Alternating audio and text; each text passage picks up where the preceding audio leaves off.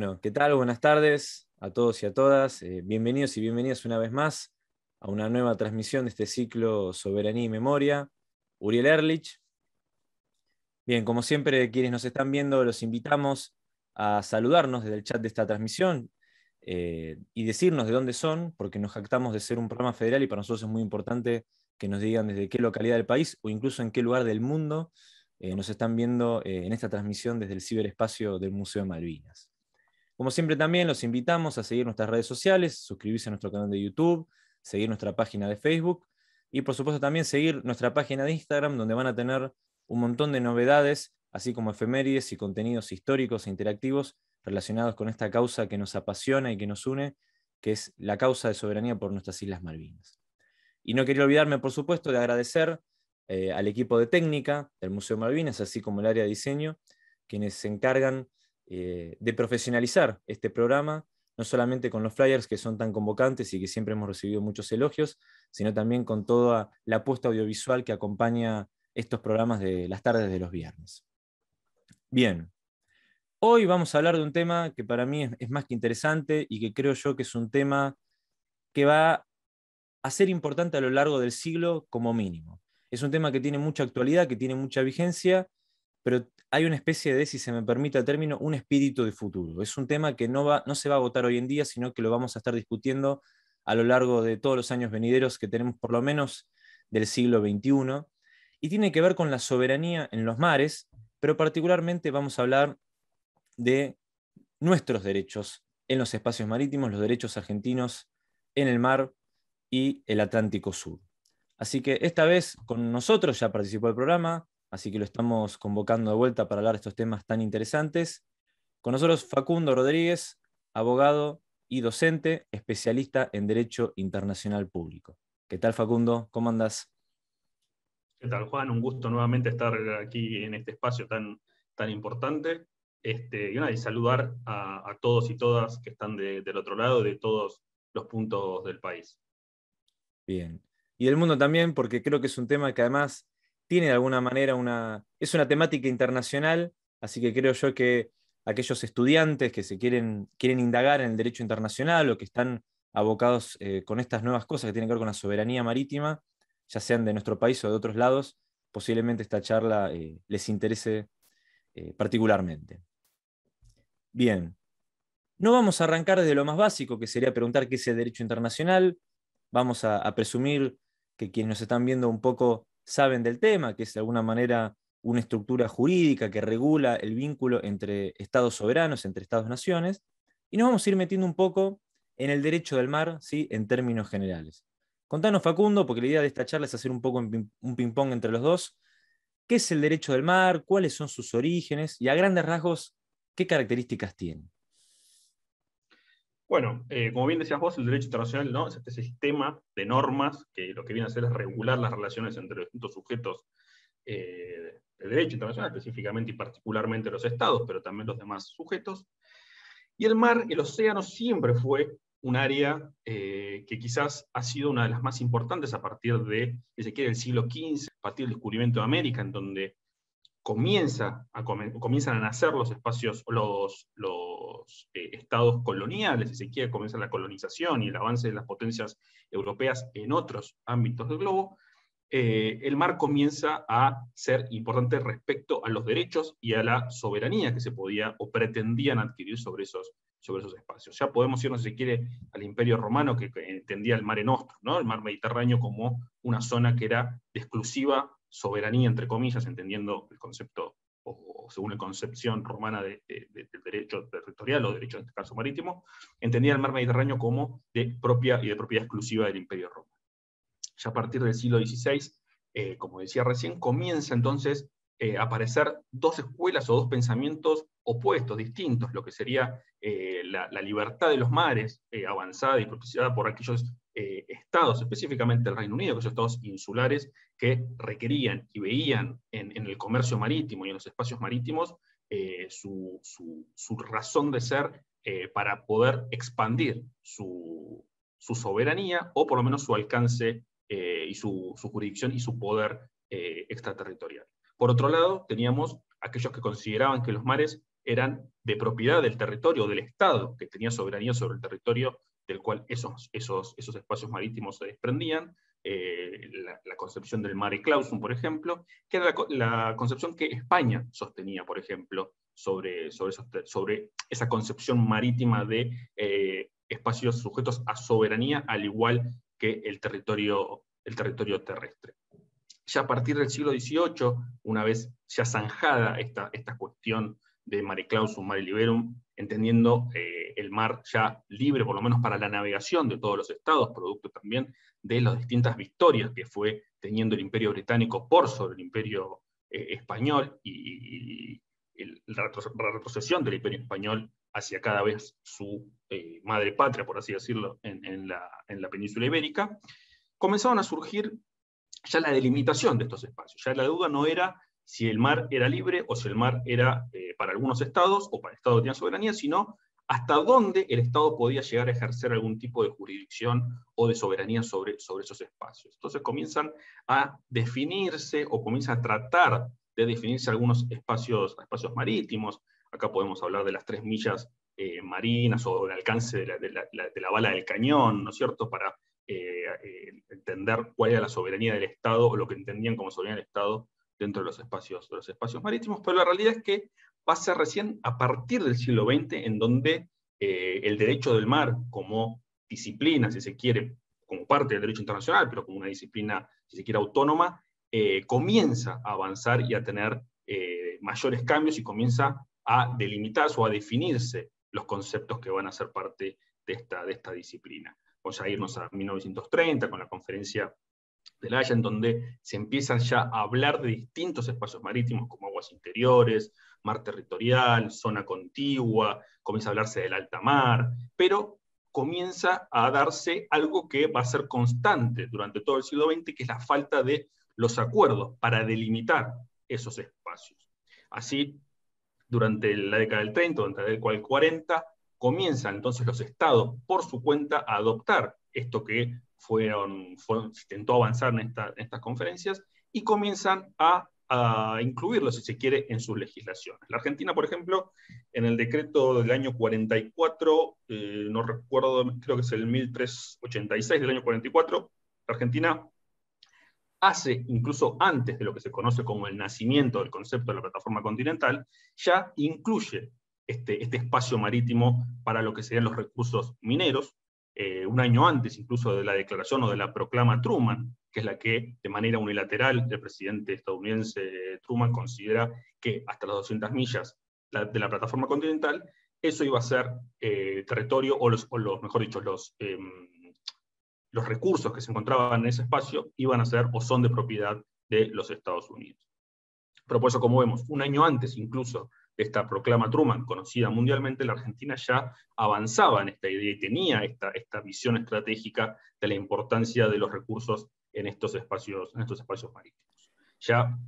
al año siguiente, en el año 1946, la Argentina vuelve a emitir otro decreto, este es el 14.708, en donde la Argentina declara la soberanía sobre eh, lo que llama el mar epicontinental y sobre la zona continental argentina, sin alterar la navegación. Es decir, considera que tiene soberanía sobre estos espacios, pero dejando libre, obviamente, la navegación, entendiendo ¿no? este concepto que hablábamos al principio de el, el, mar, el, mar, libre para todos, para todos los estados. En 1952, eh, como veníamos mencionando, otros estados ya latinoamericanos, en donde comienza, si se quiere, a tener una mayor, un mayor avance eh, o acelerado este avance respecto a los espacios marítimos, se da lo que es la Declaración de Santiago, en donde los estados del Océano Pacífico, en costa del Océano Pacífico, como Chile, Perú, Ecuador, van a eh, decretar o van a declamar su soberanía hasta las 200 millas. Y comienza a aparecer ya esta idea de la soberanía y, esta, esta, de la soberanía plena, digamos, hasta, hasta las 200 millas. Eh, será recién en 1958 cuando en el marco ya de las Naciones Unidas se da la primera de las conferencias de Naciones Unidas sobre el derecho del mar, eh, sobre los proyectos de eh, artículos elaborados por la Comisión de Derecho Internacional que reconocía que si bien había o no había una práctica uniforme, mejor dicho, sobre la extensión, por ejemplo, del mar territorial, era necesario comenzar a establecer una delimitación de estos espacios que eh, de manera consuetudinaria ya eran parte de los derechos internos de la mayoría de los estados. Eh, y, por ejemplo, como la Declaración de Santiago, que fue el, primer documento o el primer tratado, si se quiere, colectivo, ya lo hacía de carácter, eh, en este caso, regional. Esta primera conferencia adoptó cuatro convenciones, una sobre el mar territorial y zona contigua, otra sobre la plataforma continental, otra sobre eh, el alta mar y otra sobre la pesca y la conservación de los recursos vivos en alta mar. Entonces, como vemos, hasta esta primera conferencia, los espacios marítimos eran limitados, es decir, no estaban todos los espacios marítimos que hoy conocemos, sino que teníamos solamente el mar territorial y su zona contigua, la plataforma continental, que ya habíamos visto como en 1944 la Argentina había sido uno de los primeros estados en, entender este espacio marítimo como, y su importancia, pero que la proclama Truman lo hizo, si se quiere, más conocido a nivel mundial, y el alta mar comienza a aparecer de manera expresa estas, en estas cuatro convenciones, que eh, lamentablemente no tuvieron muchas ratificaciones, por lo cual no tuvo mucha, mucha importancia. Luego en 1960 se dio la segunda conferencia de, Naciones Unidas sobre el Derecho del Mar, donde tampoco se logró eh, conceptos o acuerdos respecto a la delimitación de estos espacios, es decir, se definía qué era la, mar territorial, qué era la zona contigua, qué era la plataforma continental, pero no se lograba definir básicamente y específicamente el mar territorial, cuál era la anchura de ese mar territorial. Algunos estados proponían 3, millas, otros proponían 6, 9, 12, es decir, no se lograba llegar a un acuerdo sobre cuál era el mar territorial, cuál era la anchura de ese mar territorial, obviamente por los distintos eh, intereses en, eh, dependiendo de los estados eh, y su litoral, su litoral marítimo. Será recién en 1973, en la década del 70, cuando se da el último avance, si se quiere, o el avance más importante lo que hace el derecho del mar, que es la tercera conferencia de las Naciones Unidas sobre el Derecho del Mar, que va a tener una duración de casi 10 años, va a durar 9 años, del 73 al 82, en donde finalmente se adopta, se negoció y se adoptó la Convención de las Naciones Unidas sobre el Derecho del Mar, la CONVEMAR, eh, fue firmada en, en Montego Bay, en, en, Jamaica, en donde se establecieron los espacios marítimos que hoy conocemos, que hoy en día conocemos. Mar territorial, zona contigua, zona económica exclusiva, y eh, plataforma continental, y aparece este espacio novedoso, que es la zona económica exclusiva. A partir de la CONVEMAR, que se adoptó en el 82 y que finalmente entró en vigor en el año 94, cuando eh, el sexagésimo Estado presentó su ratificación,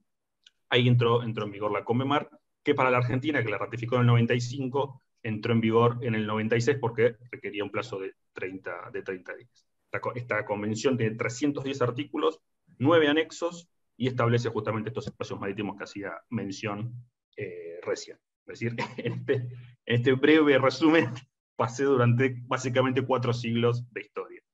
Bien, lo vamos a tomar, si te parece, e, esta introducción que acabas de hacer como una especie de abstracto resumen, digamos, ¿no? Para ir desglosándolo, porque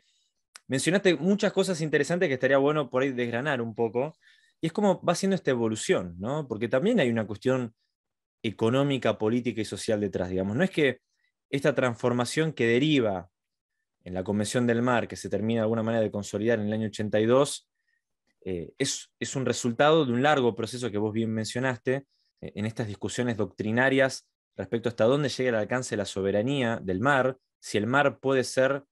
eh, fruto de la soberanía de un Estado o no, o tiene que ser digamos, como por decirlo de alguna manera, parte de la humanidad, o una mezcla entre ambas cosas, es decir, hasta un cierto determinado punto geográfico, decir, esto le pertenece o es parte de la soberanía de un Estado, y a partir de, este otro punto pasa a ser eh, lo que conocemos como alta mar, digamos, ¿no? como mares libres, digamos, de, sin ser soberanía de ninguna nación. Vos mencionaste el siglo XV, el siglo XVI, de alguna manera, también,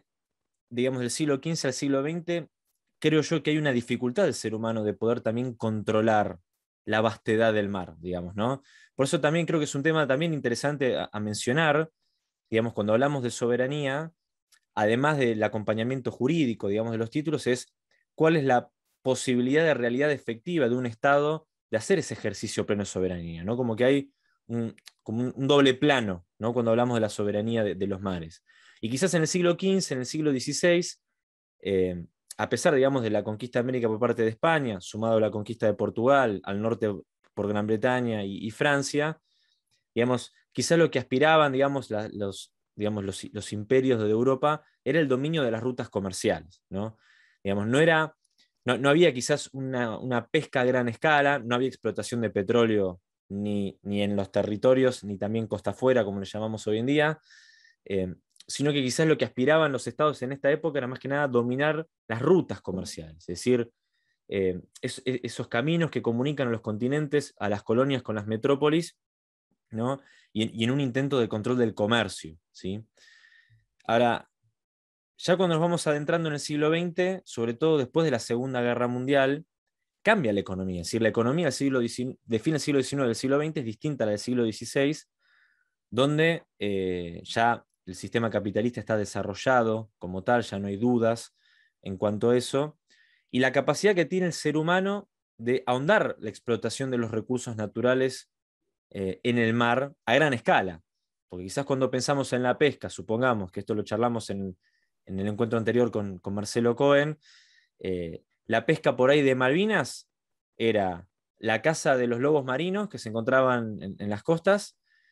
y por ahí la, por ahí pesca de, cardúmenes que se encontraban muy cerca, digamos, de la costa. No, había una, una, escala económica de pesca tal cual como la conocemos hoy,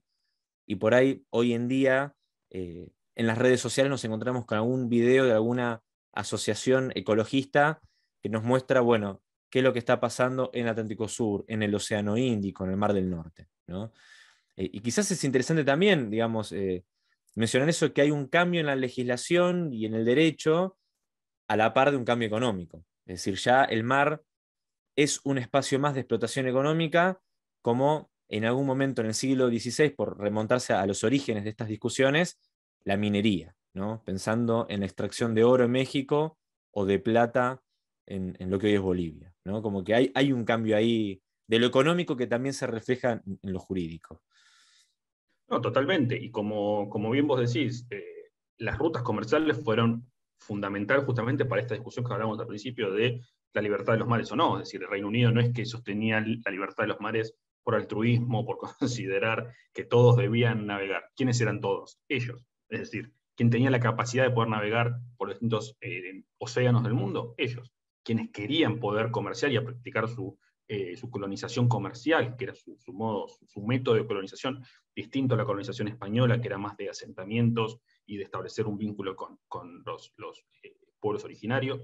ya sea el vínculo, eso lo podemos charlar en otra, en otra, otra charla, pero tenían ese, tipo de, objeto en su, en su colonización. El Reino Unido no, el Reino Unido lo que pretendía era una colonización comercial y establecer, eh, establecer colonias comerciales a lo largo y en los puntos estratégicos del mundo. Y con esto, justamente Malvinas también entra de manera eh, eh, de lleno, digamos, en esta, en esta concepción. Es decir, justamente en el momento que los británicos les interesa recuperar para ellos lo que consideraban algo que era, propio, pero que ya habían reconocido que era parte de la soberanía española y que luego habían reconocido de manera tácita que era de la soberanía argentina, a reconocer a la Argentina y el territorio de la nueva nación latinoamericana, justamente lo que les interesa es su punto estratégico de comercio y también obviamente como eh, punto de apoyo, si se quiere, para el, paso bioceánico, pero lo que interesaba básicamente era eh, la caza y la pesca de las ballenas, de la grasa de la ballena, que era el eh, combustible con el que se iluminaban las ciudades en el siglo XIX, es decir, la, grasa de la ballena que se cazaba en Malvinas era la que iluminaba las calles, las calles de Londres. y en esto también la Argentina fue pionera en cuanto, si se quiere, a la protección de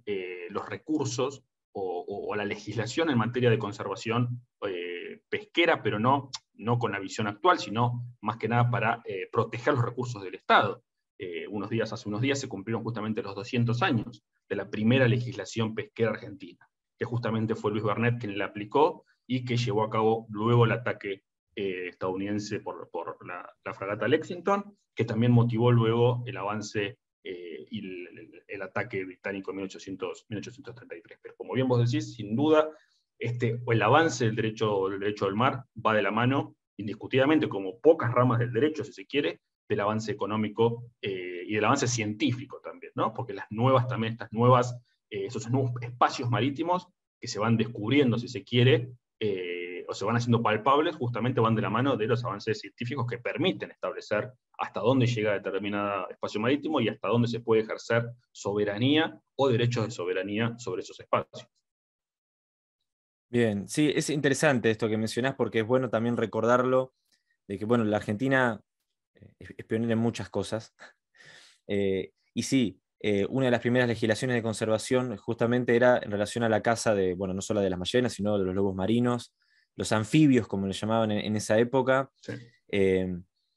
Y, esta importancia, ¿no? De, paso conectándolo con Malvinas, ¿no? digamos, como un lugar estratégico de comunicación del Atlántico Sur con el Pacífico Sur, en una época donde no existía el canal de Panamá. ¿no? Y esta necesidad de, bueno, por ahí no había una escala para controlar el mar per se, pero sí controlar lugares estratégicos, en este caso insulares, que sirvan de punto de apoyo para poder tener un mayor dominio y un, mayor control. Y en ese sentido, Malvinas será una especie de posta de reaseguro, no solo para controlar el pasaje bioceánico, sino también para asegurar el corredor británico de la metrópoli en dirección hacia Australia, Nueva Zelanda, las Islas Mauricio, ¿no? Ahora vamos a hablar por ahí quizás un poquito de, ese tema de, de, Chagos,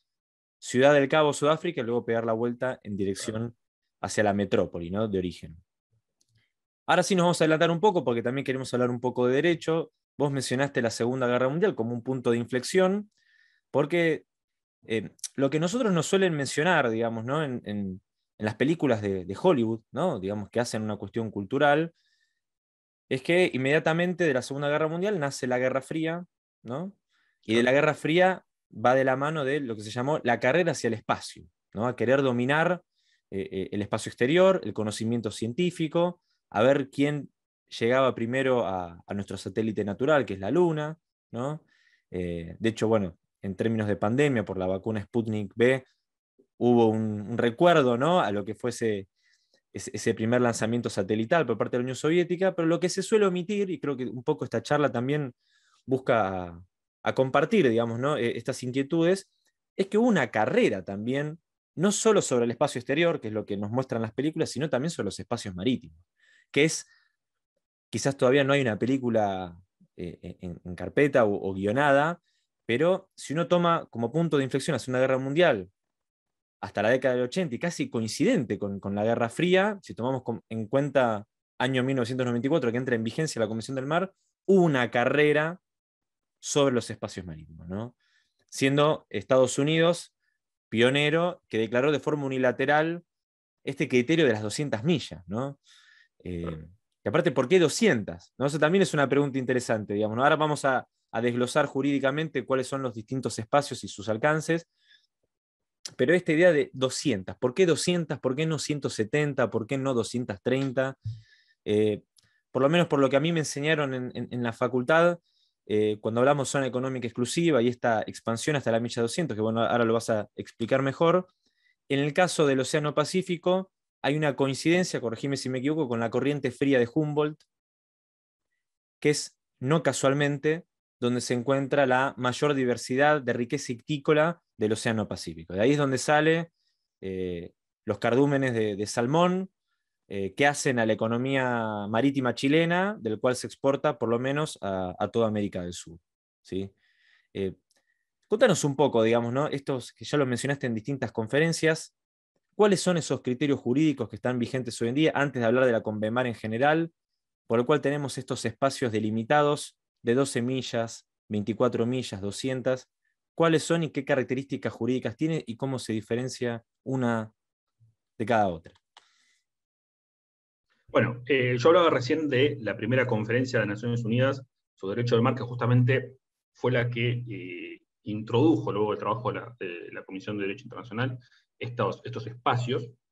y cuando menciona justamente a la plataforma continental, lo hace y, lo define em, a través de, o sobre un criterio, mejor dicho, de profundidad, ¿no? Es decir, entendiendo estas 200 millas, pero con esta idea de la exploración y la explotación de los recursos en costas afuera, ¿eh? hasta donde en ese momento la, tecnología lo permitía. Es decir, por eso se toma también ese, ese, criterio, ese criterio de profundidad como bien vos mencionabas, que no, tiene, no, es simplemente por coincidencia los, los espacios elegidos. Eh, tienen que ver conjuntamente con esto que hablábamos recién de la tecnología disponible y la explotación económica de cada uno de estos espacios. Pero bueno, yendo y ya eh, volviendo a, los espacios, si quiere, a, una clase típica de, Derecho Internacional, eh, cualquier estudiante de Derecho, cualquier abogado la, tuvo que haber sufrido esta, esta, esta, clase, son generalmente las más, las más aburridas, por así decirlo. Este, aquellos amantes del derecho del mar me van a estar odiando en este momento. Pero bueno, eh, la Comemar básicamente define cuáles son estos espacios. Es una de las ventajas, eh, uno de los mayores hitos de, esta convención, que es justamente definir y establecer los límites de cada uno de estos espacios, algunos, como veníamos viendo, antiguos y otros novedosos, como el caso de la zona económica exclusiva, y establece cuáles son los derechos y las obligaciones que los estados ribereños, es decir, los estados que tienen costa a, a estos espacios marítimos, tienen en relación a esos, a esos espacios. Eh, nosotros sabemos que hay, uno, o mejor dicho, hay un principio, que la Corte ya lo ha dicho, pero es un principio eh, conocido, que es, digamos, que la tierra domina el mar. Es decir, los derechos que el Estado... Perdóname que te interrumpa. Que, Cuando mencionas una corte, ¿a qué corte te refieres? ¿A la Corte Suprema de Justicia de la Nación o una corte internacional?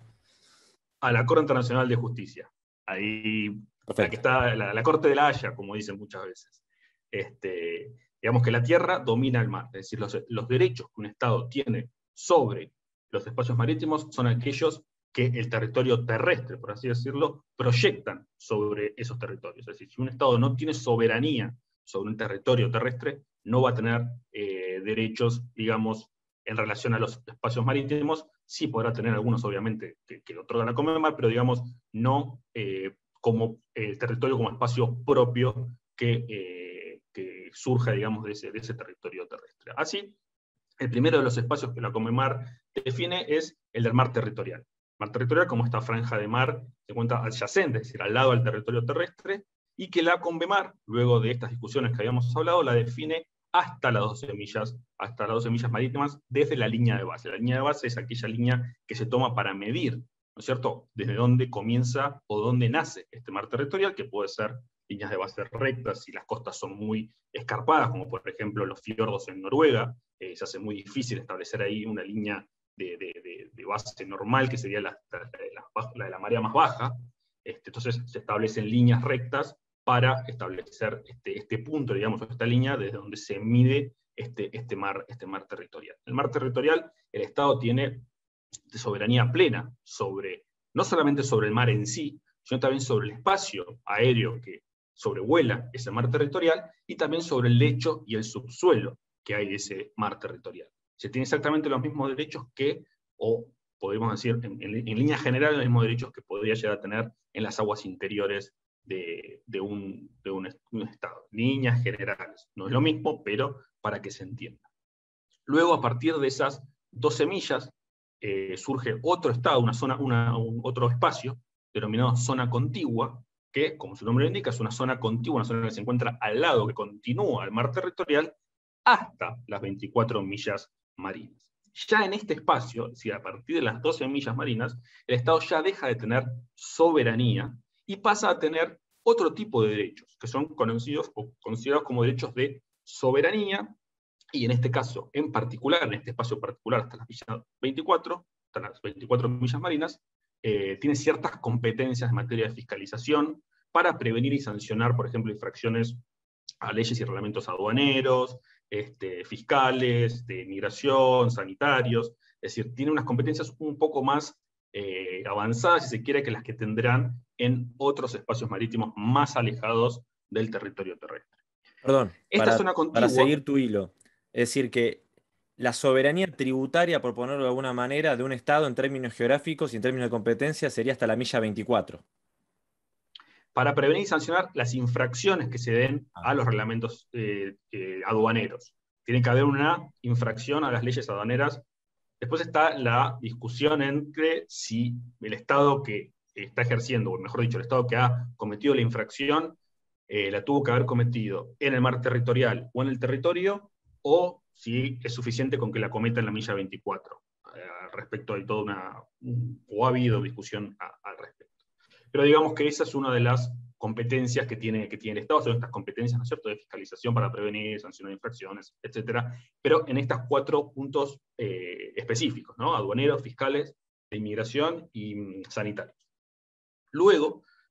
dentro de esta, de este, o sea, esta, milla, hasta la milla 24, mejor dicho, o a partir de la milla 12, se encuentra lo que se conoce como este nuevo espacio que la Convemar eh, incorpora, que es la zona económica exclusiva que es una parte, un área marítima, una columna de agua que se llega, que va y se extiende hasta las 200 millas, medida desde la línea de base, es decir, la misma línea en la cual se mide el mar territorial, hasta la milla 200 tenemos lo que se conoce la zona económica exclusiva, donde el Estado de vuelta ya no ejerce soberanía como lo hace en el mar territorial, sino que tiene, eh, como decía recién, derechos de soberanía para la exploración y explotación conservación y administración de los recursos naturales, vivos, eh, que se encuentran, y no vivos, pero bueno, básicamente como es la columna de agua, se entiende que son vivos, eh, en ese espacio. Es decir, tiene no derechos o no tiene soberanía sobre el agua, no tiene soberanía sobre esa columna de agua, sino que tiene el derecho de ejercer esta explotación exploración y conservación de estos, de estos recursos naturales. También tiene o va a tener jurisdicción respecto al establecimiento y el uso de, por ejemplo, islas artificiales, este, instalaciones, estructuras, también la investigación, investigación científica marina, este, y para la protección y preservación del medio marino. Luego se agrega, o mejor dicho, define la, la Convemar, eh, esta área que veníamos mencionando recién y que también ha dado bastante que hablar en los, últimos, los últimos meses y en los últimos años, que es la plataforma continental. ¿Qué es esta plataforma continental? Que es esta área submarina, ¿no? se encuentra el lecho y el subsuelo del mar, más allá del mar territorial, es decir, se mide desde, desde el margen desde, la línea de base hasta el borde exterior del margen continental o hasta las 200 millas, si es que ese margen continental, ese, ese margen exterior, ese borde exterior, es más, más, chico que el de las 200 millas, como por ejemplo en el caso de la costa del Pacífico. La costa del Pacífico es muy escarpada, es decir, cae ese borde, ese, borde exterior del margen continental, cae muy rápidamente, este, por lo tanto, a esos estados se les reconoce también esta plataforma continental hasta las 200 millas, si no debería ser menos si se toma este, en cuenta el, borde exterior. En esa zona, en, ese, en esa área marítima, en esa área marina de, de plataforma continental, los estados, para tener derechos de soberanía al igual que, como decíamos recién, distinto al, mar territorial, para la explotación de los recursos, eh, y exploración perdón, de los recursos naturales, vivos y no vivos, pero a diferencia de la zona económica exclusiva, en donde se va a requerir una declaración para poder explotar estos recursos, en este caso los recursos son exclusivos y excluyentes, es decir, tiene derecho para explotarlos eh, y si no lo hace, ningún otro Estado puede hacerlo. También en este, en este espacio marítimo tiene eh, derecho para la construcción de islas artificiales, instalaciones y otras estructuras. Este, pero digamos, esto es lo que se encuentra en el, en el, piso, digamos, ¿no? No en la columna de agua. La columna de agua, hasta las 200 millas, es la zona económica exclusiva. Después, a partir de esa zona económica exclusiva, a partir de esas 200 millas, tenemos lo que se conoce como el alta mar, en donde todos los estados, digamos, entre comillas, tienen, o sea, ningún estado, mejor dicho, tiene la capacidad de ejercer soberanía o tener soberanía sobre este, este espacio, al igual que en la zona de los fondos marinos, conocida como la zona, que digamos sería la parte de abajo, la continuación, digamos, de la plataforma continental dentro de estas 200 millas, pero lo que se encontraría debajo del alta mar, por así decirlo. ¿Puede haber plataforma continental sin haber zona económica exclusiva? Sí. Por ejemplo, una zona económica exclusiva que sea menor a 200 millas, o si se quiere, eh, una, plataforma con, una zona económica exclusiva hasta 200 millas y una plataforma continental extendida hasta la milla 350, que es lo que permite la Convemar también, en algunos casos en el que el Estado considere que tiene una plataforma continental, un margen exterior de la plataforma continental que se extienda hasta estos espacios, bueno, es todo un procedimiento que probablemente lo hablemos después, este, para poder eh, definir y delimitar esa plataforma continental más allá de las 200 hasta las 350 millas. Básicamente, en líneas muy generales, estos serían los espacios marítimos, ¿no? Que la Convemar establece y en el cual los estados, hoy por hoy, tienen distintos derechos que acabamos de mencionar y distintas obligaciones también que, acabamos de mencionar. Y es aquí también ¿no? en donde surgen las distintas disputas para la delimitación de estos espacios marítimos este, y los derechos que cada estado puede y debe y quiere ejercer en estos, en estos espacios. Pero bueno, como mencionamos al principio, es uno de los principales logros de la CONVEMAR, es haber logrado definir no solamente qué son cada uno de estos espacios, sino eh, la anchura o eh, la delimitación de estos espacios. ¿no? Era lo más difícil y lo que no había podido lograr la, conferencia del 58, lo pudo lograr la CONVEMAR, por eso tardó también 10, casi 10 años en sus negociaciones, y se adoptó y entró en vigor recién en el, 94. Bien, eh, te quiero sumar, pero corregime si me, si me equivoco. Eh, hasta la milla 200 lo que se entiende por zona económica exclusiva, vos mencionaste la columna de agua, digamos, que sería el mar, lo que entendemos literalmente por mar, agua, digamos, ¿no? Y cuando hablamos de la soberanía de los recursos de lo que sería la plataforma continental, hablamos del lecho y del subsuelo, ¿no? Exactamente ahí quizás lo, que nos han aportado, porque también, bueno, ahora lo vamos a charlar quizás un poco más, cuando han salido un montón de artículos en medios de comunicación hablando de la pesca ilegal en la Argentina, eh, algunas con razón, en otros casos no, digamos, ha habido mucha confusión respecto de, bueno, si entendemos por pesca ilegal, estamos hablando de un buque que está realizando una actividad económica contraria a derecho, digamos, ¿no? Pero para entender si es contrario a derecho o no, primero hay que entender el derecho y qué es lo jurídicamente permisible y qué es lo que no está permitido y qué es lo que, sería, lo que estaría vulnerando nuestra soberanía. Cuando nosotros hablamos, por ejemplo, de, la, soberanía sobre los recursos naturales en la columna de agua, en términos eh, vulgares hablamos de lo que serían las especies migratorias, ¿no? Digamos, ¿no? Las, especies marinas que nadan y que viven digamos, ¿no? en el agua. Y el ejemplo más paradigmático que ha salido en los medios de comunicación es el calamar, cuando hablamos de Atlántico Sur, ¿no? o también eh, la merluza, un poco más al norte. Pero cuando hablamos por ahí de los recursos, digamos, que se encuentran en el lecho y en su suelo, en tanto de especies marinas, hablamos de especies marinas sedentarias,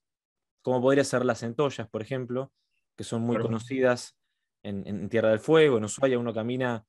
por la, avenida principal de Ushuaia y se encuentra con un montón de restaurantes quienes venden ahí centollas, y sobre todo hablamos de los recursos eh, hidrocarburíferos y mineros, ¿no? Eh, petróleo, gas y los famosos nódulos polimetálicos, ¿no? esas, esas cuestiones que, tanto nos interesan y que nos han enseñado, bueno, en, nuestro programa al menos eh, Mario Volpe nos ha dado muchas clases ilustradas ¿no? al, respecto de, esos recursos eh, importantes en la plataforma continental. Eh, ahora vos mencionaste esta larga transición, ¿sí? que irónicamente la Convemar, digamos como tratado, se termina de sancionar en el año 82 digamos, ¿no? que no entra en vigencia, pero se termina de, consolidar como cuerpo jurídico, como corpus jurídico en el 82, coincidente con, la guerra de Malvinas. Y acá quizás lo, que quería aportar para hacer eh, este ping-pong en relación a cómo esto impactó, digamos, ¿no? en Malvinas en particular, es que, digamos, costó mucho tiempo, no solamente a que los estados y la comunidad internacional eh, haya un acuerdo y unanimidad respecto de cuál es el criterio y esta delimitación, sino que quería traer como ejemplo a, colación el tema de las guerras del bacalao, ¿no? algo que, pareciera ser un nombre de una serie de Netflix, digamos, ¿no? fueron episodios que surgieron de verdad entre Islandia y Gran Bretaña, digamos, ¿no? siempre pareciera que Gran Bretaña está circunscripta a estos conflictos en relación a los mares. ¿no? Bueno, para explicarlo un poco a quienes nos están escuchando, ¿sí? las guerras del bacalao, este conflicto entre Islandia y, Gran Bretaña, tenía que ver con hasta dónde llegaba la soberanía de Islandia en términos de zona económica exclusiva y la potestad que tenía Islandia respecto a los recursos naturales. ¿no? Eh, Gran Bretaña no quería reconocer la soberanía marítima de Islandia. Islandia tuvo tres conflictos, lo, que se llama en términos bibliográficos las tres guerras del bacalao, donde primero obtuvo el reconocimiento de Gran Bretaña de su soberanía en lo que vos bien explicaste que era el mar territorial hasta la milla número 12. Y entre el 73, 1973 y 1976, Islandia obtuvo, previo a la sanción de la Conmemar, el reconocimiento de Gran Bretaña de su soberanía, lo que hoy conocemos como zona económica exclusiva hasta la milla 200. Es decir, ya tenemos un antecedente previo a la guerra de Malvinas, donde Gran Bretaña se enfrentó con otra nación, con otro Estado, en la disputa de los recursos naturales, en donde en el caso y en el ejemplo particular de, Islandia fue un triunfo islandés, ¿sí? pero los británicos, si bien reconocieron las, 200 millas alrededor de Islandia, obtuvieron eh, una especie de cupo de explotación de los recursos cictícolas eh, alrededor de Islandia. Es decir, como un antecedente previo a la guerra de Malvinas, digamos que es un tema que nos convoca por la temática del museo y por la temática de la charla en particular, ya tenemos un conflicto previo de Gran Bretaña con otro país respecto de la soberanía marítima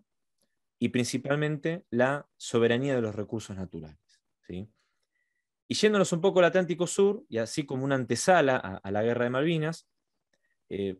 muchos, autores, muchos autores mencionan ¿no? de que, digamos, no podemos tampoco entender el conflicto del Atlántico Sur fuera de lo que fue la crisis del petróleo en 1973, las misiones científicas eh, del año 1975 y 1976, conocidas como las misiones Shackleton. Entrando al conflicto del Atlántico Sur, eh, después de la guerra de Malvinas, Gran Bretaña hace una especie de segunda usurpación británica, ya no solo sobre los territorios insulares, Malvinas, Georgia y Sandwich del Sur, sino sobre los espacios marítimos. ¿sí? Contanos un poco ¿Cómo fueron esas consecuencias, digamos, en un momento donde se sanciona la Convención del Mar, pero previo a su entrada en vigencia en el año 94? ¿Qué pasó con Malvinas en esos años como consecuencia del conflicto, por decirlo de alguna manera? Y como bien vos recién decías y completabas la, misión, la misión Shackleton, eh, que en su informe terminaba diciendo de que las islas no iban a ser nunca eh, viables económicamente sin el apoyo de Argentina continental. Entendiendo esto los británicos también, y luego de su, esfuerzo, por así decirlo, material en, el conflicto armado del 82, apelaron entonces a explotar el recurso eh, que más a mano tenían y que más fácil les podría llegar a generar ingresos. Estamos hablando justamente de lo que veníamos hablando en esta charla, que es el tema de la pesca. Hasta el 82, y de manera unilateral. Hasta el 82, el Reino Unido administraba de forma ilegal eh, y de manera unilateral una franja de no más de tres millas marinas alrededor de los tres archipiélagos que hoy están bajo disputa, Malvinas, Georgias y Sandwich. Por medio de una sistemática y legal expansión, hoy controla y explota 438.000 kilómetros cuadrados de franja marítima alrededor de Malvinas y 1.200.000 alrededor de Georgias y Sandwich del Sur. Es decir, podemos ver cómo pasaron de tres millas a estos eh, casi o más de 2 millones de kilómetros cuadrados. Pero volviendo para atrás un poco, ya a partir del 82 y específicamente lo que hace eh, en la década del 80, en el año 86, el Reino Unido crea de manera unilateral y de manera contraria a las resoluciones de Naciones Unidas que piden no innovar eh, respecto a, a, la cuestión hasta tanto y en cuanto se solucione la disputa de soberanía, establece una zona exclusiva de pesca alrededor de las islas que ellos llaman la Falkland Islands Conservation Zone, que es la FIX con Z final por sus siglas en inglés, de un radio de 150 millas alrededor de todas las Islas Malvinas que justamente coincidían con esa zona de exclusión que habían establecido de manera unilateral eh, para evitar cualquier ingreso de cualquier buque o aeronave argentina. Y a su vez, no solamente crean unilateralmente esta, esta zona de exclusión, digamos, de pesca alrededor de las islas, sino que le otorgan a los isleños el supuesto control de esta pesca y el supuesto derecho de otorgar licencias o autorización de pesca en ese, en ese radio establecido de manera eh, unilateral. Va a ser a partir del 87, entonces, que los isleños comienzan, mejor dicho, a cambiar de manera radical los ingresos y el modo de vida de los isleños producto de esta decisión, y comienzan a otorgar licencias de pesca de manera unilateral y obviamente sin ningún tipo de consulta con Argentina. Recordemos que hasta ese momento todavía las relaciones diplomáticas y consulares entre Argentina y el Reino Unido se encontraban suspendidas. Recién va a ser en la década del 89-90, cuando con los acuerdos de Madrid esto se va a revertir. Y justamente fue producto de estos acuerdos de Madrid del, del 89 y el 90, en donde la Argentina y el Reino Unido se sientan y acuerdan una declaración conjunta sobre conservación de recursos pesqueros el 28 de noviembre de 1990, en donde ambos gobiernos, el argentino y el Reino Unido, ambos gobiernos, o sea, de manera bilateral, asumen el compromiso o asumieron el compromiso de cooperar respecto al mantenimiento y la conservación de eh, distintas poblaciones de, peces en el Atlántico Sur.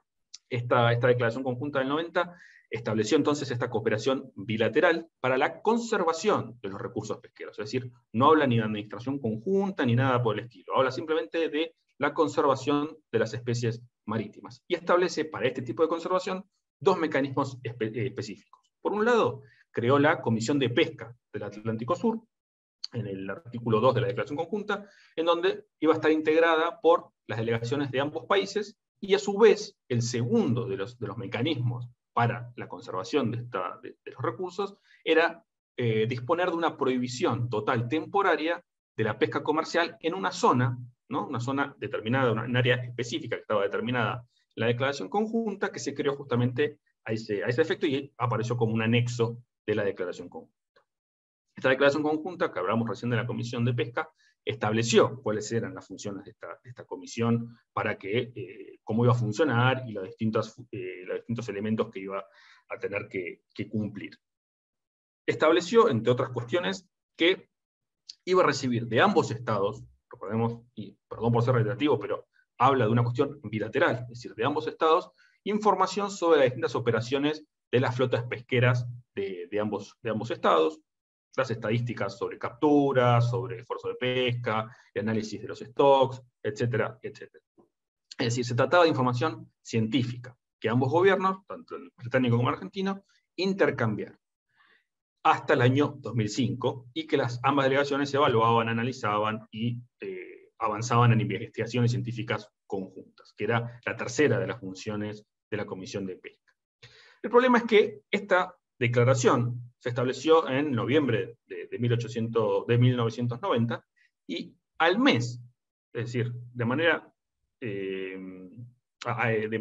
particular al mes, al 20 de diciembre perdón, de, de 1990, el Reino Unido estableció nuevamente de manera unilateral una suerte de zona económica exclusiva alrededor de las Islas Malvinas. Es decir, incrementaba esa, esa zona de, que habíamos mencionado al principio de 150 millas a 200 millas para control de la pesca y la autorización, le otorgaba la autorización a los isleños para recaudar los derechos de pesca en la misma zona que la propia declaración había establecido como área de prohibición. Es decir, esta nueva zona ¿no es cierto? de conservación, que se llamó Falklands Outer Conservation Zone, esta, esta FOX, por sus siglas en inglés, estableció un acto, un, acto jurisdiccional unilateral de parte del Reino Unido a un mes de haberse acordado la declaración conjunta que violaba de manera expresa la declaración conjunta, porque establecía la posibilidad y le otorgaba a los isleños la posibilidad de recaudar derechos de pesca en una zona que de manera expresa habían comprometido con la Argentina a eh, evitar justamente la pesca en esa, en esa área. No solo esto, sino que el Reino Unido continuó con los, con los actos unilaterales en materia de, cuestiones marítimas, de cuestiones en materia de desarrollo pesquero o de, explotación pesquera. Y en el año 93, el 7 de mayo del 93, una nueva declaración unilateral, una nueva proclama unilateral por parte del eh, legítimo gobierno británico en Malvinas, estableció nuevamente una pretendida jurisdicción marítima pero ya no alrededor de Malvinas, sino alrededor de las Georgias y las Andes del Sur. También permitiendo otorgar a los isleños eh, licencias de pesca eh, en, dichas, en dichas aguas. No, no a los isleños, sino al gobernador de facto de las islas, que sabemos que se ponen los dos sombreros, ¿no? Se pone el sombrero de Malvinas y se pone el sombrero de las Georgias y Sandwich. Al año siguiente, el Reino Unido, el 22 de agosto del 94, amplió esa jurisdicción marítima al norte de las islas y incorporó este, una zona de alrededor de 1.900 kilómetros cuadrados. Es decir, podemos ver cómo año tras año el Reino Unido comenzaba y avanzaba en estos actos unilaterales que la Argentina fue protestando, todos y cada uno de ellos, pero Argentina tratando de honrar la declaración conjunta y en materia de conservación y tratar de avanzar de manera eh, propositiva y de buena fe, continuó con esta declaración conjunta y continuó aplicando las funciones de la Comisión de Pesca, hasta que en el año 2005 el Reino Unido comenzó y realizó, mejor dicho, eh, otro de los actos unilaterales, pero este más bien quizás se puede hablar uno de los más nocivos para la Argentina, que es eh, el otorgamiento de licencias de pesca a un plazo de 25 años. Es decir, ya esta medida no era una medida simplemente de eh, una forma de disposición ilícita, sino que ya una medida de disposición ilícita unilateral, pero a largo plazo, de recursos pesqueros en espacios marítimos disputados. La Argentina ya había, como veníamos diciendo, ya había advertido al Reino Unido en todas las oportunidades que pudo y en la continuidad de cada vez que los británicos eh, otorgaban esta licencia de pesca, que iba a seguir rechazando estas medidas unilaterales y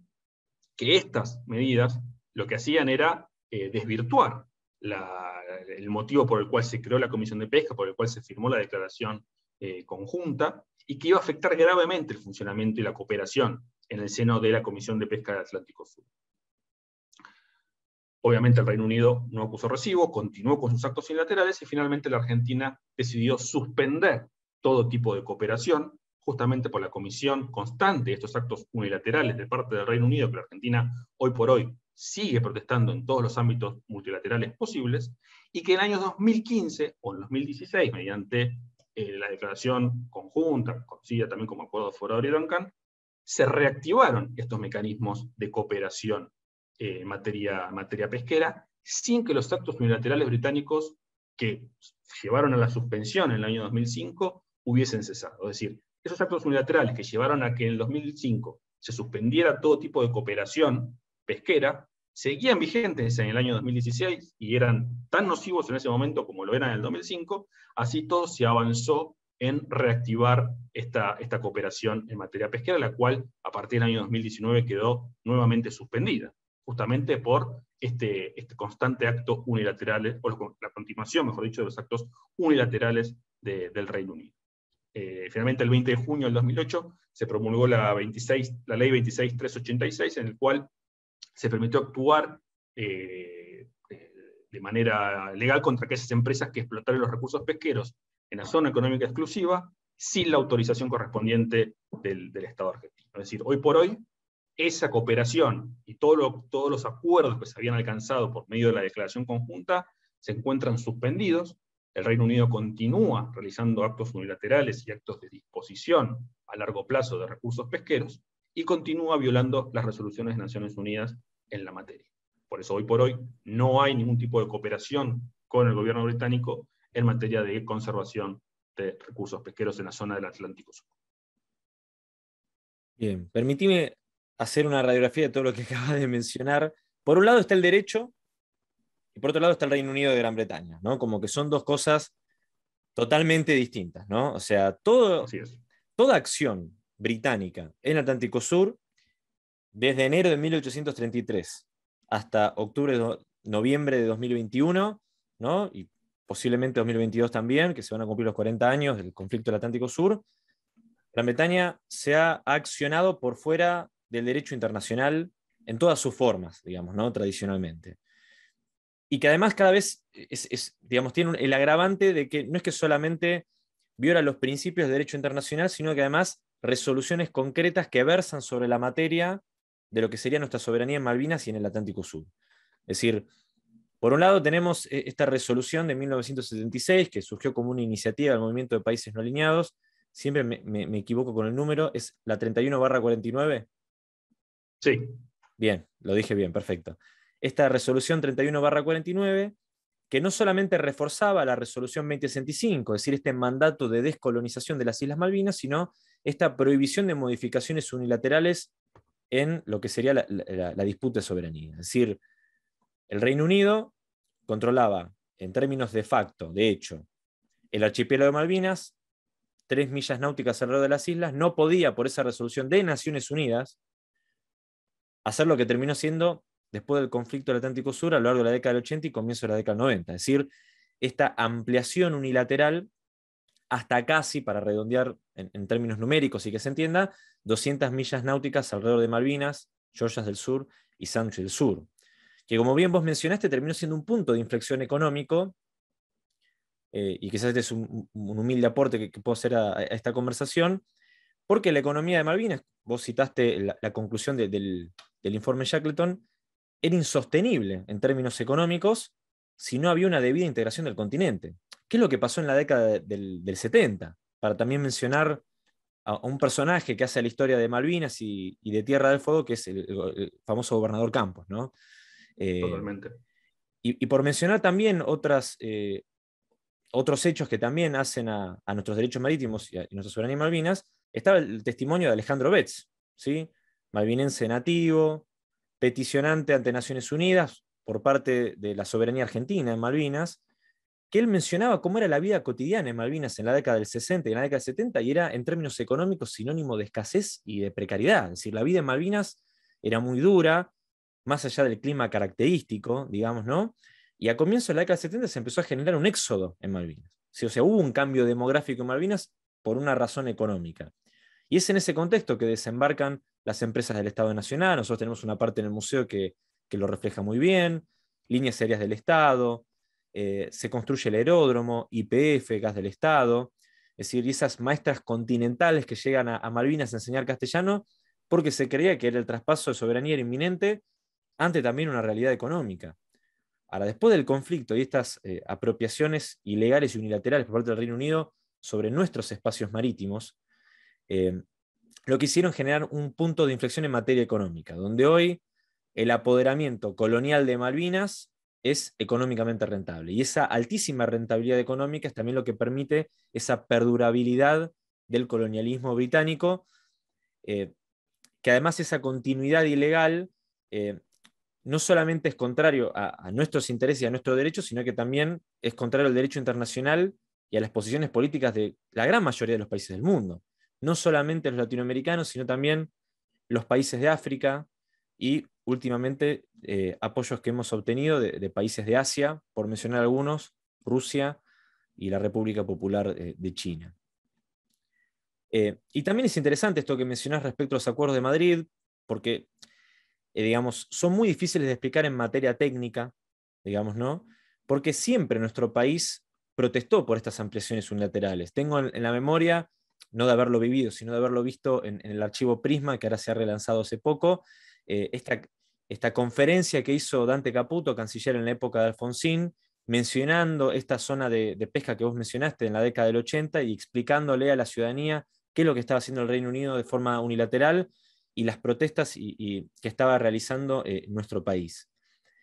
Y que e, estas, esta declaración de los acuerdos de Madrid, que derivó en, a, su vez subacuerdos de pesca y subacuerdos de hidrocarburos, se terminan de denunciar y que se terminan de caer en el año 2005 y el de hidrocarburos en 2007, si mi memoria no me falla. Y, lamentablemente para nuestra historia reciente,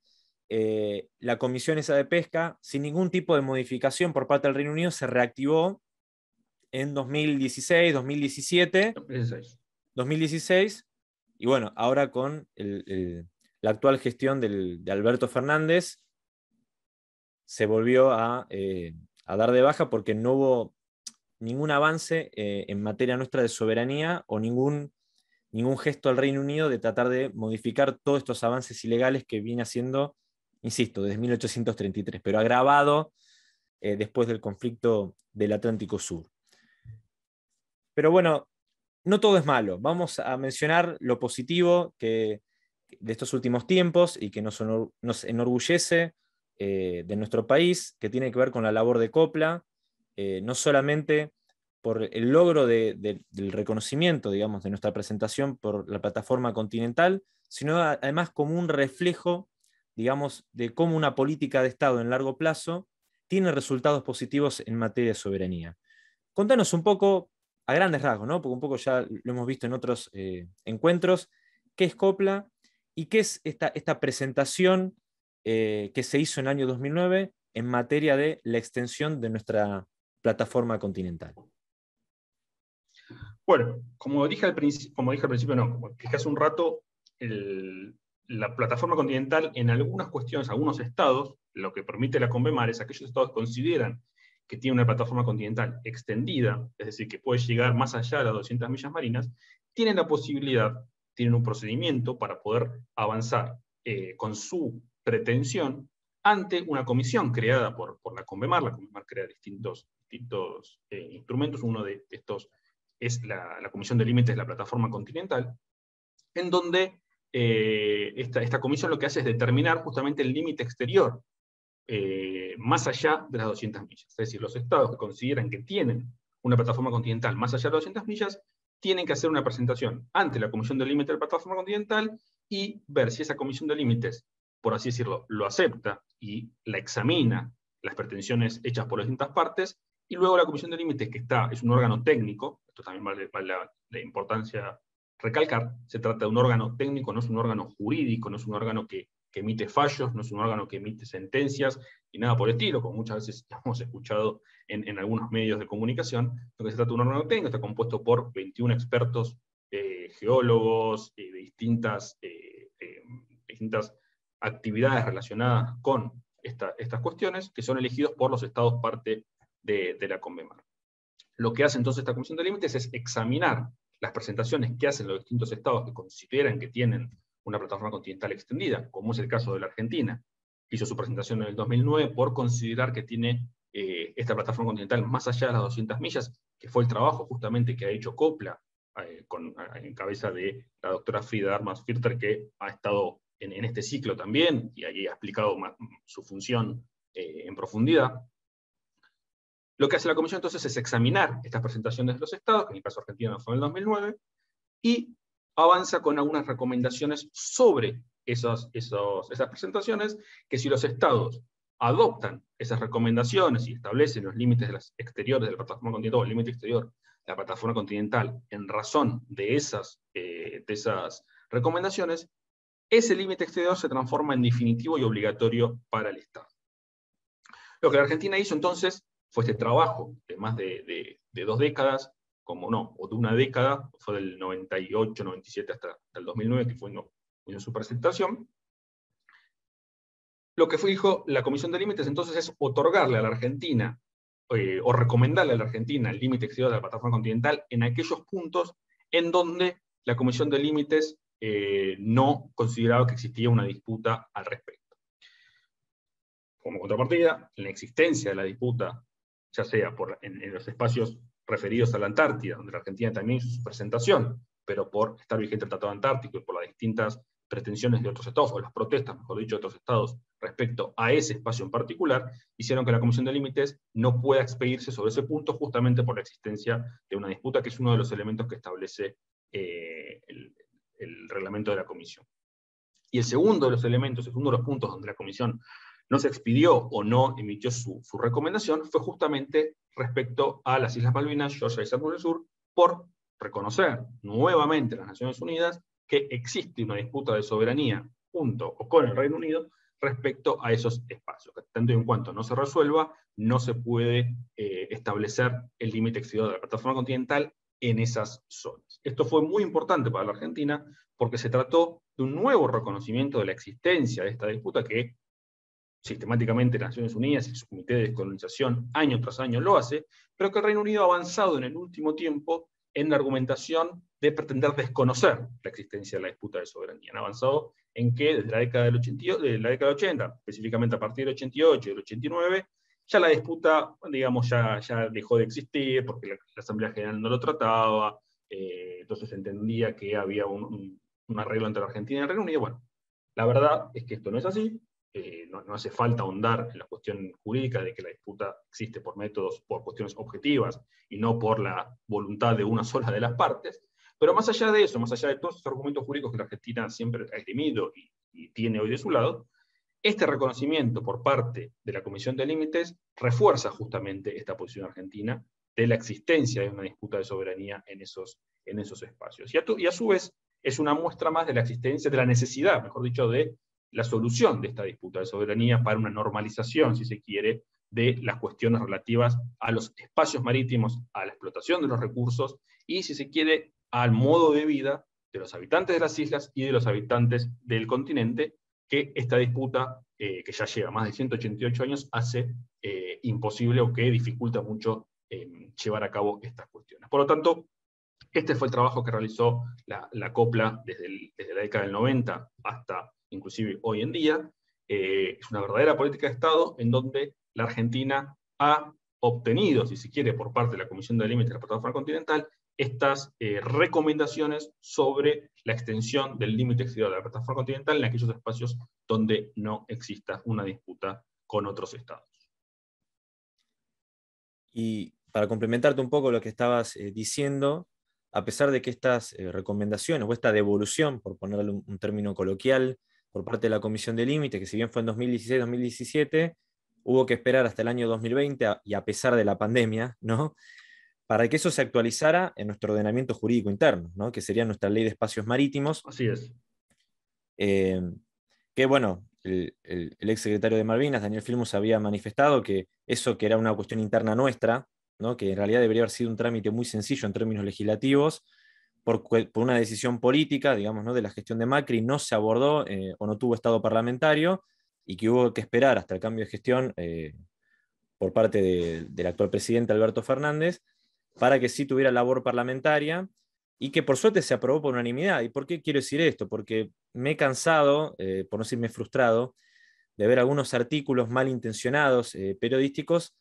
que acusan cierta subjetividad ideológica ¿no? a mapas que hacen a la soberanía nacional. O sea, los mapas de nuestro país que están aprobados por el Instituto Geográfico Nacional, el IGN, no son de un partido político, sino que responden a una proyección de soberanía nacional independientemente de las posturas ideológicas de, digamos, de la Argentina, digamos, es, decir, tiene alguna soberanía nacional. Y que se actualizó con esta nueva ley, la 27.557, que se aprobó aún eh, en pandemia, y tenemos este hermoso mapa nuevo, digamos, que es el de los espacios marítimos, donde de alguna manera se refleja esta presentación que hizo Copla en el año 2009, donde tenemos una línea sólida, ¿no? amarilla sólida, lo que no hay ningún tipo de impugnación de soberanía, digamos, ¿no? en materia de la extensión del límite de nuestra plataforma continental, dejando en línea punteada ¿no? lo que queda todavía pendiente a resolver, sobre todo el caso de Malvinas, que vos bien eh, lo mencionaste, que sigue tramitando, se sigue tramitando en el Comité de Descolonización. ¿sí? Y esto es importante mencionarlo en términos de, de mensaje, porque no es que Malvinas en tanto causa o disputa de soberanía finalizó en junio del 82 o finalizó en el año, en octubre del 89 o a comienzos de la década del 90, sino que sigue teniendo vigencia y además hoy en día contamos con el apoyo de muchos países del mundo, incluso de bloques de integración continental, quienes se han manifestado, de forma explícita a favor de nuestro país en el reclamo de soberanía. Y sumándote, quizás también un poco para, a modo de cierre, digamos, ¿no? para comentarnos un poco, eh, que tiene que ver con la actualidad, pero quizás en otras latitudes, en, casos eh, no idénticos, pero sí similares. Contanos un poco en qué anda eh, la cuestión del archipiélago de Chagos, digamos, ¿no? de las Islas Mauricio, que, es también un ejemplo que también nos sirve de referencia internacional a la hora de seguir y continuar reclamando nuestra soberanía en nuestras Islas Malvinas. Bueno, la República de Mauricio, el caso de la República de Mauricio es otra situación en donde otro Estado ve su integridad territorial quebrantada por el accionar colonial eh, del Reino Unido. Este, no en el Atlántico Sur, pero como bien vos decías, en otras latitudes, en este caso particular en, el Océano Índico.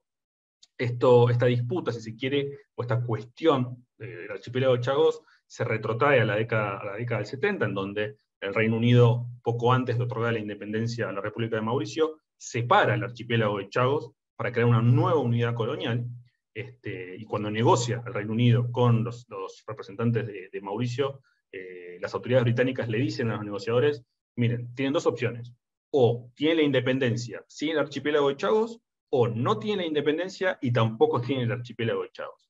Representantes de Mauricio obviamente aceptaron esa opción este, del archipiélago de Chagos, de, independencia sin archipiélago de Chagos, eh, mediante un acuerdo que fue conocido como el Acuerdo de Lancaster House, que la propia Corte Internacional de Justicia luego en su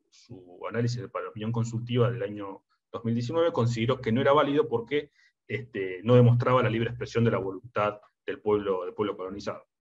La Corte, en, esa opinión consultiva que acabo de mencionar recién, sí tuvo en cuenta, no tuvo en cuenta este acuerdo, pero sí tuvo en cuenta la resolución 2066, una resolución, esa resolución siguiente a la 2065, que se aprobó el mismo día, en donde esta, esta resolución pone en guardia, digamos, o establece que la potencia colonial no puede separar, en este caso en particular, el archipiélago de Chagos de Mauricio, porque eso sería contrario a las resoluciones de Naciones Unidas, en este caso la resolución 1514. Sin embargo, el Reino Unido avanzó igual y así lo hizo. Desde los años 80, eh, distintos, los distintos gobiernos de Mauricio intentaron por distintos medios resolver la controversia por Chagos con el Reino Unido. Avanzaron negociaciones bilaterales, donde el Reino Unido sostuvo que iban a devolverle el archipiélago cuando ya no fuese necesario para su defensa. Ahora, ¿quién decide cuándo no es más necesario para la defensa? Justamente el Reino Unido. Por tanto, va a quedar siempre en la decisión de la potencia colonial la solución de una controversia y eso no, no, no, no es viable.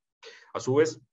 el Reino Unido avanzó, en ese caso particular, en las negociaciones bilaterales, en negociaciones sobre aspectos prácticos, sobre, o bajo, mejor dicho, un paraguas de soberanía, algo que a nosotros nos resulta bastante conocido. Sin embargo, Mauricio, la República de Mauricio, eh, poniendo a la Argentina como un ejemplo negativo de una negociación bajo un paraguas de soberanía, en donde se discute todo menos la soberanía, Mauricio dice, nosotros queremos negociar soberanía, no queremos negociar otra cuestión. Y nosotros ponemos bajo un paraguas de soberanía, como hicieron con la Argentina, donde negocian todo menos la soberanía, no vamos a alcanzar lo que nosotros queremos. Por tanto, Mauricio, la República de Mauricio, decidió no aceptar esa propuesta británica.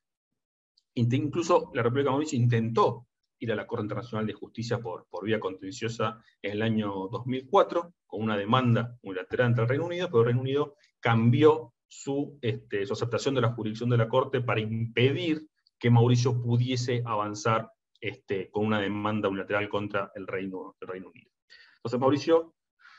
viendo cerrada también la posibilidad de una vía contenciosa, lo que hizo fue buscar los apoyos en los planos eh, multilaterales, en los planos eh, eh, regionales, ya sea Naciones Unidas, pero también la Unión Africana, el grupo del 77 más China, y en otros ámbitos donde obtuvo amplio apoyo. A su vez, logró imponer Mauricio un arbitraje previsto en la Convención de Naciones Unidas sobre el Derecho del Mar, en la CONVEMAR, por un área marítima protegida que el Reino Unido había creado alrededor del archipiélago, justamente alrededor de Chagos, para fortalecer su posición jurídica, pero este tribunal creado en base al anexo 7 de la, de decidió que no podía resolver una controversia de soberanía porque eso iba o excedía la competencia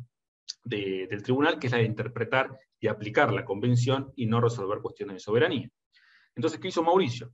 En el año 2017 fue a la, Asamblea General de Naciones Unidas y pidió una opinión consultiva le pidió a la Asamblea General que solicite una opinión consultiva a la Corte Internacional de Justicia. No se trató de un procedimiento contencioso, como ya vimos que estaba cerrado por el cambio de jurisdicción del Reino Unido, sino que se trató de una decisión, ¿no? una opinión del principal órgano jurisdiccional de Naciones Unidas que tiene un peso fundamental. Si bien no es una sentencia o una decisión que se trata de una decisión obligatoria, sí tiene un peso político y jurídico fundamental. En esa opinión consultiva, la Corte le terminó dando la razón a Mauricio. Y con esa opinión consultiva, Mauricio volvió a la Asamblea General y obtuvo una nueva resolución con 116 votos a favor y solo 6 en contra, donde la Asamblea General reconoció de manera expresa y explícita que el archipiélago de Chagos pertenecía a Mauricio. Con esto lo que hizo Mauricio fue colocar la cuestión en el primer plano de la agenda internacional, obtuvo el reconocimiento de su soberanía internacional logró aislar al Reino Unido en su posición intransigente de no querer negociar, preservó y mejoró su posición jurídica y mejoró su capacidad negociadora. ¿Por qué? Porque con esta opinión consultiva y con esta eh, resolución de la Asamblea General, comenzó a influir en la opinión pública británica, en los parlamentarios británicos, logró imponerle al Reino Unido un costo alto por su negativa de cumplir con el derecho internacional, y sobre todo su posición dejó de ser, su posición dejó de ser simplemente la posición de Mauricio y pasó a ser la posición también de la Asamblea General y también de la Corte Internacional de Justicia. Con esto, con esta, eh, con esta victoria, digamos, con, este, eh, con estos logros que Mauricio logró en la opinión para la redundancia, en la, en la, Asamblea General y en la Corte Internacional de Justicia, Mauricio avanzó en la delimitación de sus límites marítimos en relación al archipiélago de Chagos y logró que el tribunal, una sala especial del Tribunal Internacional del Derecho del Mar, reconociera e hiciese suyos todos los argumentos avanzados por la eh, Corte Internacional de Justicia y la Asamblea General. Es decir, eh, ante un, había avanzado con una delimitación de los límites marítimos entre un tribunal arbitral conforme al anexo 7, eh, perdón, ante el Tribunal Internacional del Derecho del Mar, em, contra Maldivas, que es el Estado con costas opuestas al archipiélago de Chagos, que Maldivas sostenía que existía una disputa de soberanía, que todavía no se había resuelto con el Reino Unido, por lo tanto no podía el Tribunal Internacional de Derecho del Mar eh, delimitar una cuestión que todavía se encontraba eh, eh, bajo una disputa de soberanía, que el Reino Unido tenía que estar presente por ser un tercero esencial y que se tenía que escuchar sus argumentaciones, etcétera, etcétera. Lo que hizo la sala especial, que entendió y que avanzó en, estas, en estas medidas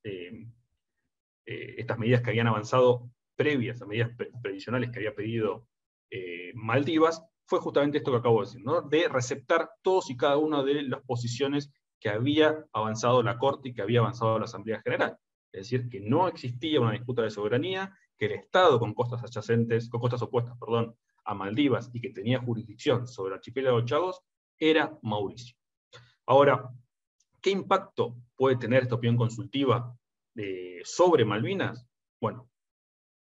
mejor dicho, la opinión consultiva y el accionar de Mauricio en general, pero la opinión consultiva en particular, en la opinión consultiva podemos establecer que no le corresponde a la potencia administradora decidir cómo se descoloniza un territorio, que no hay una aplicación unívoca del principio de libre determinación, que en 1965 existía el derecho a libre determinación y no lo aplicó la cuestión Malvinas, que es la Asamblea General la que establece cuándo y cómo se debe consultar la población de un territorio. La cuestión de las Islas Malvinas también incluye a la Sandwich y Georgia del Sur, y que el Reino Unido tiene la obligación de descolonizar las islas de acuerdo con las resoluciones de la Asamblea General y resolver la disputa eh, de soberanía. Ahora, de forma general, ¿qué es lo que nos eh, enseña, por así decirlo, el actuar de Mauricio eh, en, este reconto rápido que hice todas sus, eh, acciones para hacer valer sus derechos sobre el archipiélago de Chagos, es que la cuestión principal y prioritaria, y esto también aplica a la cuestión de las Islas Malvinas, debe ser la búsqueda para imponer los medios, la búsqueda de los medios, mejor dicho, para imponer al Reino Unido avenirse al respeto o su obligación de solucionar la controversia por medios pacíficos. Es decir, entre la controversia por Malvinas no se resuelva, el Reino Unido va a seguir controlando fácticamente la situación, va a seguir explotando los recursos naturales y va a buscar, como lo ha hecho siempre, que la Argentina se adapte a esta situación, aunque la Argentina mantenga formalmente su reclamo. La tentativa de solucionar únicamente los problemas que están subordinados a la existencia de esta controversia, que fue lo que Mauricio no hizo, sino que Mauricio fue directamente al fondo de la cuestión, lo que hacen es eh,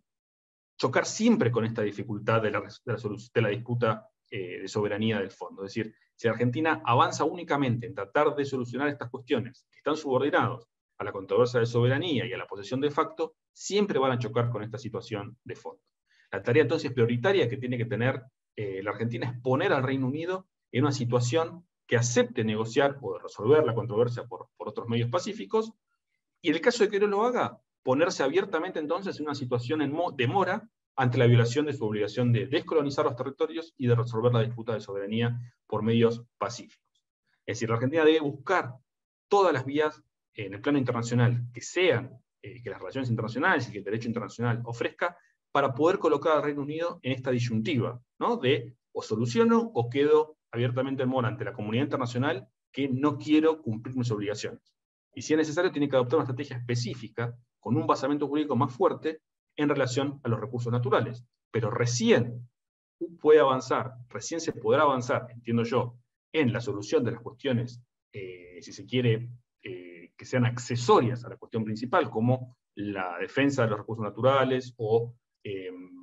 la defensa de los derechos sobre los distintos espacios marítimos, cuando la cuestión de soberanía, cuando la cuestión de fondo esté resuelta hasta tanto en cuanto la cuestión de fondo, es decir, la cuestión de la disputa de soberanía, no esté resuelta, el Reino Unido va a seguir avanzando y va a seguir realizando actos unilaterales y va a seguir controlando la situación de facto. Es algo que Mauricio, que la República de Mauricio entendió y por eso, justamente como explicábamos recién, evitó cualquier avance o, supeditar cualquier negociación a aspectos prácticos y centrarse pura y exclusivamente en la solución de la cuestión de fondo, que creo que es lo que la Argentina debe realizar. Bien, Facundo, muchísimas gracias. La verdad que fue muy, muy elocuente esta, charla. Quizás me, llevo como conclusión, digamos, para retomar un poco lo, que estabas explicando recién de la República de Mauricio, y que lo decimos constantemente y no nos vamos a cansar de repetirlo, la idea de plantear una estrategia en relación a Malvinas en largo plazo,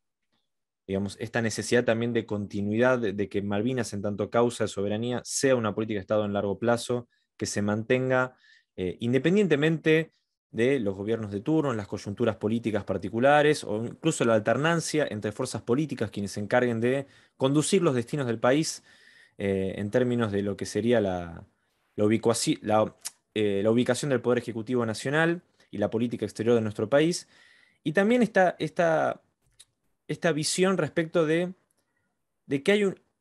digamos, estamos en el siglo XXI, el colonialismo ya es un anacronismo que genera una intolerancia a nivel mundial, digamos, ¿no? Eh, digo, por citar otros ejemplos, vos mencionaste contradicciones que hay al interior del Reino Unido, ¿no? Digamos, si nosotros nos remontamos al siglo que estamos viviendo, ¿no?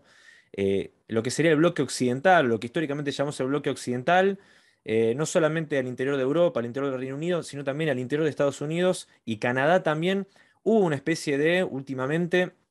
una visión histórica de ser muy condenatorias a lo que fue la esclavitud forzosa de los pueblos de África, lo que fue el colonialismo tanto en África como en el continente americano. Eh, es decir, eh, el colonialismo es algo que es totalmente inadmisible en el tiempo presente que estamos viviendo. Eh, y me parece que generar esta solidaridad, no solo al interior del continente americano, sino buscar esta solidaridad con los países de África y de Asia, me parece que es un camino, digamos, a avanzar en, este anhelo que tanto tenemos desde ya hace mucho tiempo, como vos bien mencionaste, hace más de casi 180 años, eh, que es eh, este objetivo tan, digamos, que tanto nos tracciona como pueblo argentino, que es la recuperación de nuestra soberanía por Malvinas. Y tomando en cuenta, agrego una cuestión más, eh, que estamos viviendo en una época económica muy difícil, digamos, ¿no? Que no hace falta ni explicarlo porque lo vivimos a diario, que además se ha agravado por la pandemia eh, mundial. Y cuando hablamos de, crisis económica, pareciera ser que eh, no hacemos también hincapié en la cuestión de nuestra soberanía marítima, nuestros recursos naturales en el Atlántico Sur, que también serían eh, un camino a la hora de resolver, por ejemplo, nuestra deuda externa, tomando en cuenta que parte de nuestros recursos naturales, que son eh, elementos de incorporación de divisas internacionales están siendo explotados de forma ilegal eh, por este colonialismo británico que persiste en, nuestro Atlántico Sur. Eh, así que Facundo, nuevamente, muchísimas gracias, gracias por habernos ilustrado en materia de derecho internacional y obviamente nos estaremos encontrando probablemente en otro encuentro de este ciclo, en la virtualidad o en la futura presencialidad del Museo Malvinas, así que nuevamente muchas gracias. Muchas gracias a vos, Juan, y a todo el museo por esta invitación. Como siempre es un placer inmenso conversar con ustedes y un saludo grande para todos y todas que nos están viendo y escuchando a lo largo del país y del mundo, como bien dijiste al principio. Un abrazo grande. Bien. Y bueno, y quienes nos están viendo, como siempre, nos encontraremos el viernes que viene a las 18 horas por una nueva transmisión de este ciclo Soberanía y Memoria, Uriel Erlich. Hasta pronto.